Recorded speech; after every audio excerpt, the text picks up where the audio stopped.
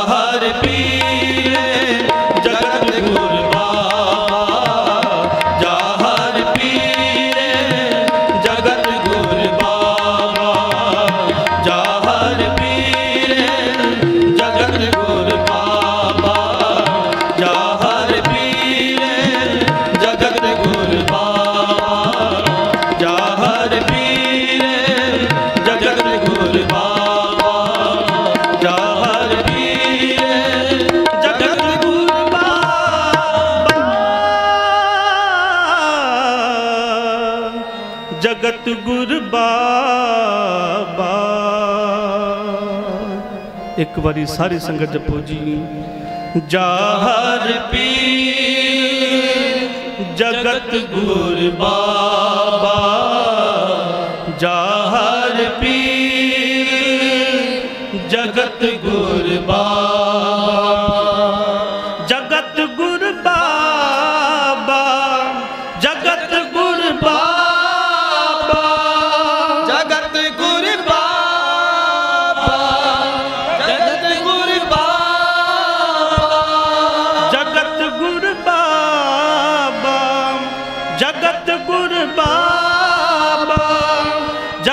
गुरु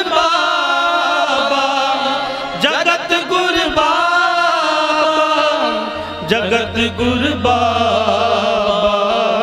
जगत गुरु बाबा जाहर पीर जगत गुरु बाबा